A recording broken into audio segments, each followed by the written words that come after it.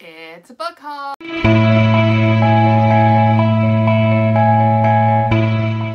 What's up guys? Welcome back to my YouTube channel. Anyways, so we're here today to show you my book haul that I got this week. Um, these books are actually from publishers and from myself. I purchased them myself from either Chapters Indigo or Harlequin website. And normally I do do hauls, um, but not on YouTube, obviously. I do it on my Instagram stories, but I thought it would be like a fun little video to post on my YouTube channel, as well as the fact that like I'm mm, kind of running low on content, but we're gonna get past that for now let's get started. So the first book that I have to show you today is Discretion by Karina Hall. Hale. Hall. I really don't know how to say her name. This will be my first Karina book and I've seen her books all over Instagram and as well as Amazon where most of her ebooks are listed but this is my first time reading a print book from her. It's also from Thomas Allen and Sons. I got gifted it from um, one of my contacts. Shout out to him.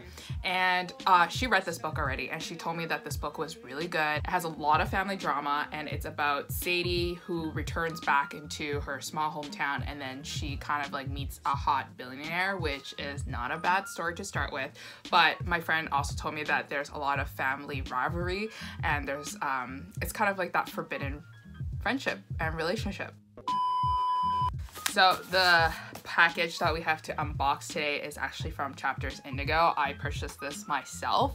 Um, you can already tell that I kind of already opened it because I was too excited. So this is totally a natural reaction. Like, oh my god, what did I buy, right? Um, so first we have actually three books and you can already see and we get we always get these like papers here that we don't need in our lives. So the first book that I have to show you that I purchased myself is The Sun is Also a Star and it's the movie cover edition. I never read this book nor did I watch the movie but I know from a lot of my friends that they love this book.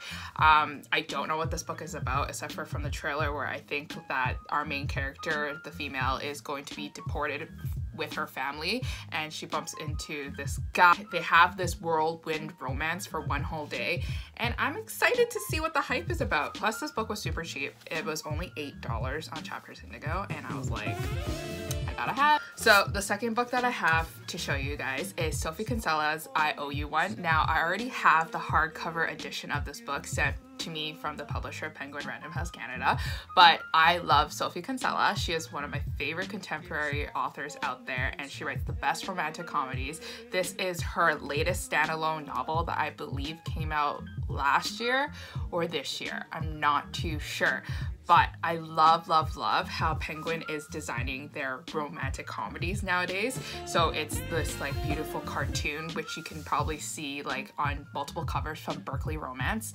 And Berkley Romance is an imprint of Penguin Random House. So I can see why they would like copy the styles. Um, I read this book, loved it. I think I gave it a four out of five stars. It was one of those classic Sophia um, Sophie Kinsella books out there. It followed the same Sophie Kinsella formula so there's like basically no surprises.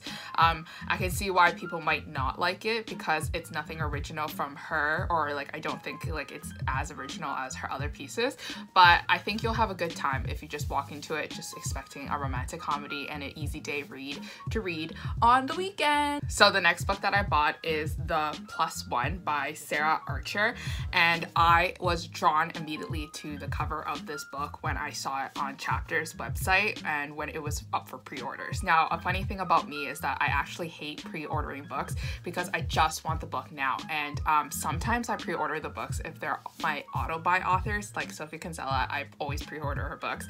But if it's not an auto-buy author, I'm okay with waiting until it gets released, just so I know that I can wait like in my head like it takes two days for it to deliver rather than me pre-ordering it and then I have to wait like eight months for it to come. Is it just me? I don't know. But anyways, this book is about a girl who is very antisocial. She doesn't really have any like love relationships or a relationship life at all. So she builds herself a perfect boyfriend, a robot boyfriend. And then through her robot boyfriend who is perfect, she kind of learns more about herself and she learns to um, be a more spontaneous person person and have a character development growth on that. So I'm excited to read the book and the cover is just gorgeous if you can tell. It's this mint green and it has the signature cartoon print that we see a lot these days for a lot of our romantic comedies and novels. So the next package that we have here is actually from Harper Collins Canada and I have a little idea of like what I am expected but we're gonna take our pair of scissors and we're just gonna snip snip snip. So you can already see here that my contact is really sweet and she gave me a heart. Like, I don't think she watches my videos, which is totally fine because it takes a lot to watch my videos a lot of the times. Um, so the book that I got is Husband Material and it's an advanced reader's copy. This book comes out on September 24th, 2019, and it's our another romantic comedy kind of style novel. Um, so this book is about Charlotte, who is a widow, and she tries to get over the death of her husband. And I think there's a lot, but I think there's like some betrayal happening in that relationship, um, and that's only like something that she figured out after he passed away, which always, you know, kind of sucks. So she's trying to get over it, and she's trying to build her career, and she's trying to like work on other aspects of her life. So five years years later, um, she does not expect to see her husband's ashes on her front doorstep. And then and then from then on she is thrown back into her old life where she has to talk to her mother-in-law or her ex-mother-in-law and then also her husband's best friend who I believe might be the main male um, lead in our story and um, I feel like that this book will be a hint of romantic comedy as well as dealing with grief and more serious issues so definitely check this book out if you're interested. So the next package that we have is from Raincoast Books and I reopened this as well because I was excited and I wanted to re remember what I requested from them and what I was gifted. So we got two books today and the first book that I got is from um, Brigid Kemmerer and it's Call It What You Want. And if I remember correctly, this book, this author wrote the so she did write the curse so dark and lonely and that was like this like fantasy novel that i think blew up either this year or last year. And it was the book about a modern day storytelling of beauty and the beast. Um, this book is a contemporary novel from what i can tell and it's a ya contemporary novel coming out on june 25th so the book is already out. I don't know why i received a dark of it but okay. Um, anyway so this one is about a our main hero male character whose father is caught embezzling funds, which is like not a good image to have on one's family, especially when he's the star of the lacrosse team and he's kind of like set on this path of like expectations that he's gonna do well in his future and he's gonna be successful. He gets partnered up with our main female character who is a typical overachiever, but then she is hiding a secret of her own and her sister actually comes back home from college pregnant. So now she needs to hide that secret from her parents and also keep the secret for her sister. So I'm excited to see what kind of family issues and drama we can get ourselves into through this book. I find that it'll probably be very emotional. So the next book that we have is The QB Bad Boy and Me by Tay Marley. And this book, this book does not look like it's an arc, so I might be out already. This is fine for me. But this book, now, Here's the thing, this book is actually published by Wattpad Books. If you didn't know this already, Wattpad is beginning to publish books on itself. So they're, I guess they're picking up like the most um, attractive and most popular books that are read on Wattpad and then they're putting them into print. So this book is about the quarterback who is a bad boy, I think. And then um, he has this uh, love, like lovers to enemies relationship with the dancer on in the school. And then they get into this fight and then she wants to pursue her dreams of dancing and meanwhile he wants to pursue his dreams of playing football and I guess it's just a cute romantic story of them together.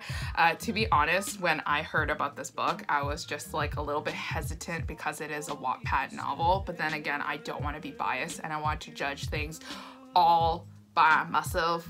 So we're gonna see how good or how bad this book is. So the next package that we have today is also from Chapters Indigo. I bought this myself. Um, I bought these books during when they had the free shipping sale going on. It wasn't really a sale, but it was just free shipping and I love free shipping. So I bought this book after Book Depository lost my book and gave me a refund. And I was like, damn sure you guys are giving me a refund because I'm mad. I waited like a month for you guys to give me my book and you guys didn't do it. So the book is called Thunderhead and it's by Neal Shusterman and I read Scythe um, about like a month month. I would have read the second book sooner if Book Depository didn't lose my book. So yeah, thank you so much for that. JK, I'm still supportive of Book Depository.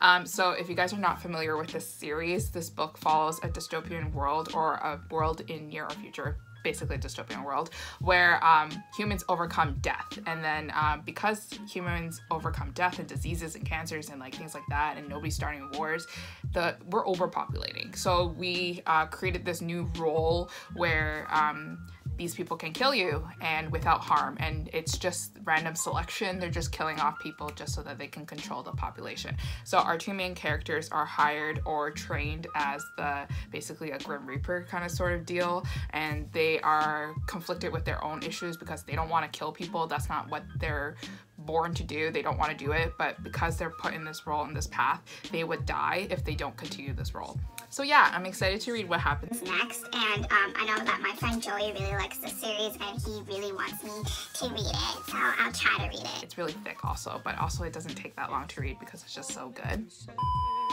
I swear we're moving faster. But here's another package. This package is from Harlequin and I'm a part of the Harlequin publicity team on Instagram. So I sign up for a lot of the books that I am interested in.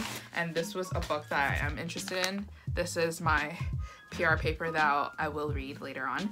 Uh, so the book that I got is Toni Blake's The One Who Stays, and this is just a cute small town romantic story and I'm sure there's a lot of drama as well. This is a small town romance and it's about our main character named Meg and Meg is in a committed relationship with this character named Zach. Um, the only problem is, is that Zach is kind of being wishy-washy and he's not really always fully committed to her and she's just like okay what's going on because I need to move on with my life with you hopefully in the future like I want to get married I want to have children like what's going on so what she doesn't count on is is a new man coming into the town and his name is Seth and then uh, sparks fly and then we're gonna see where it goes from there.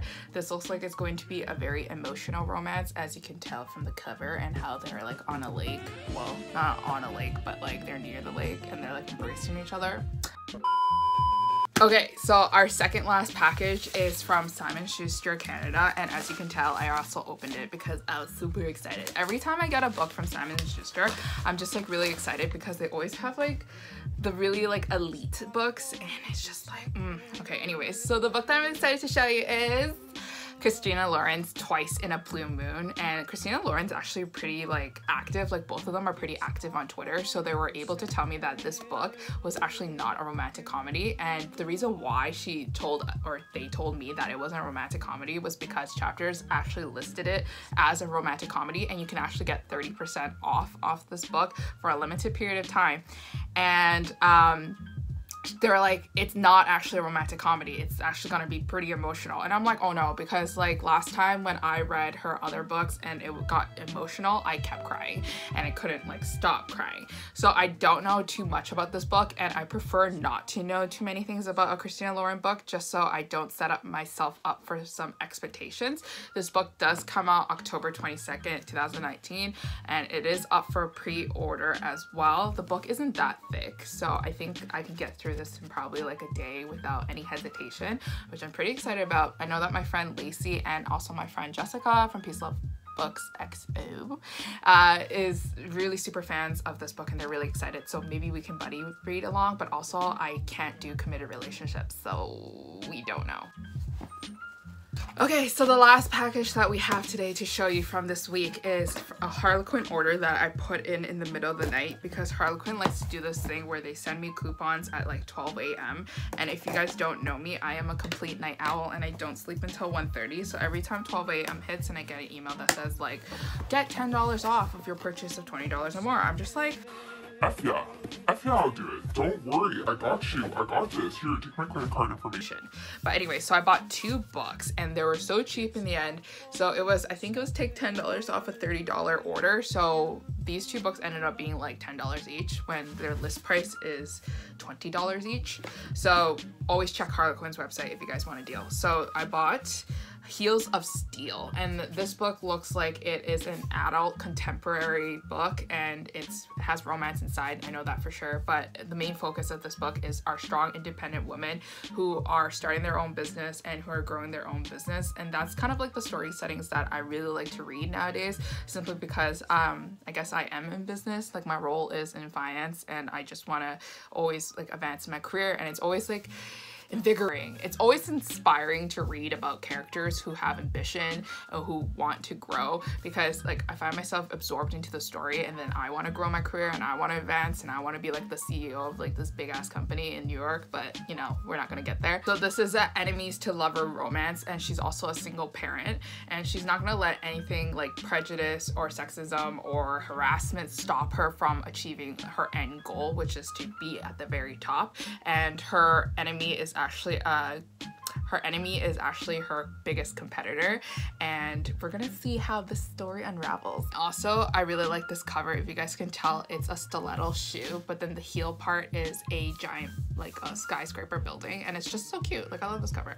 It's a thick book but you know what? I think i can get through the last book that I got is The Cactus, and this book has been blowing up on Instagram. It has been blowing up on at Walmart because it's like cheap at Walmart. It's the Reese's Book Club as well. So this book is compared to Eleanor Oliphant is completely fine. I started Eleanor, but I never finished it and I never could get past 100 pages simply because Eleanor has like this personality that is really hard to get into if you're not in the right mood. And since I am a mood reader, it gets pretty hard. I think it'll be like a really interesting read, especially if I get into our characters and I can see the character growth because I'm always about that character growth for our characters and always about seeing them like being a better version of themselves. So I can't wait to read this. This is also, I think, like somewhat, it's like a romance inside, but it's mostly focusing on their lives as well. So I don't know if I should call this a romance, but check it out if you haven't already. But anyways, thank you to all the publishers who sent these books to me. I promise you that I will try to get to them as soon as possible. And also I would like to take the special time to thank me, myself, and I for spending all the money that I have in my wallet and my bank account. And um, I need to stop doing this, but then also like I just always constantly buy books. Like right now I'm debating between putting another order in at Chapters Indigo or just like spending all my money on K-pop albums. Um, I mean like NCT Dream is coming back at the end of July and I kind of want both versions of their albums but then also like Chapters Indigo has this like sale going on where you get 30% off on some pre-orders and I'm just like ooh that's spicy information. I want to dive into that yeah so we'll we'll see we'll see if i make another haul video you know that i put my order in so subscribe down below if you're interested in more content from me Can't let you go. I can't let you go, no. 우리 운명 저 다음 걸어겠죠